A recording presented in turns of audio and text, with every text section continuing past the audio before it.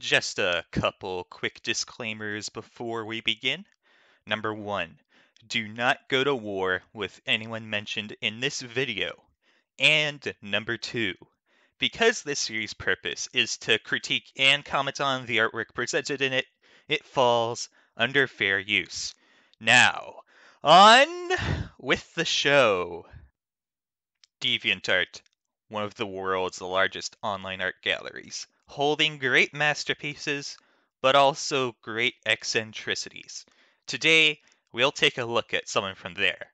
On this episode of DeviantArt Critique, we'll be diving into Pyramiddhead. After the absolutely gargantuan video that was last episode, I think I deserve a bit of a break from the depths of the site. So, why not review yet another great artist? Pyramiddhead is a professional illustrator hailing from the United States that has been around on the site for about 10 years. He has published 614 deviations and has a fan base just shy of reaching 3,000 watchers. Let's dive into his gallery. Pyramiddhead's illustrations are nothing short of a blessing upon the horror world. The various terrors and surreal creatures that he conjures up are nothing short of visually impressive. The sheer amount of fear exuded by these creatures is only amplified by the fact that they are drawn in black and white. Said coloration also helps to create more of a mystery behind them, in my opinion. It is also very obvious that Pyramiddhead has mastered a realistic style that he portrays these creatures in. This stylistic choice really helps convey the horror in these illustrations. Bringing them down to earth through realism assists in making them that much scarier. These monsters don't just exist on their own, however.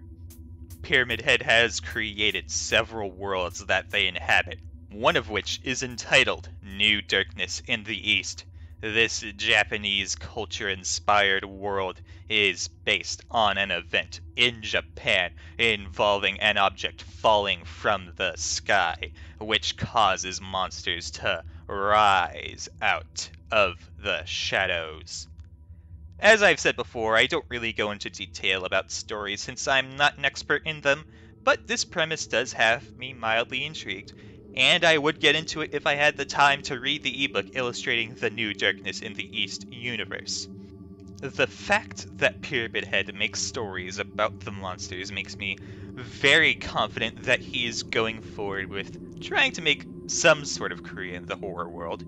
His dedication to his craft makes me that much more sure of that. If I'm right, then I'm glad he's doing so. He has a unique vision of his own that should not be lost to the sands of time. I will add that maybe, just maybe, that he should try color. He has uploaded paintings before, so, with some practice, I am confident that he can master colored illustration in addition to black and white illustration. Well, that does it for today.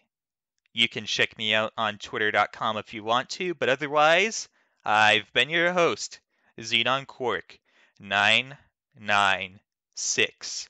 Have a nice remainder of 2020.